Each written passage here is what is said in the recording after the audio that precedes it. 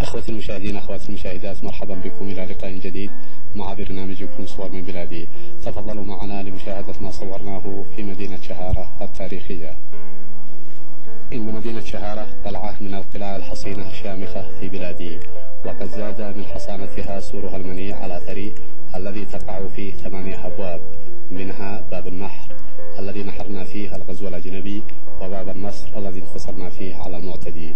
وإن مدينة شهارة من أهم المدن السياحية في بلادي حيث يتوافد إليها السواح من أوروبا باستمرار. ويقولون إنهم يعتبرون هذه المدينة من أعرق وأجمل المدن اليمنية للأسباب التالية. أولا هواؤها الرائع النقي وجمالها الطبيعي وارتفاعها المتناهي.